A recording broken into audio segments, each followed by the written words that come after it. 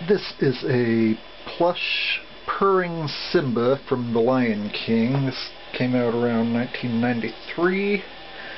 He is going up for sale, and this is just a really quick demonstration to show how his purr works and sounds. All you have to do to get him to purr is squeeze him.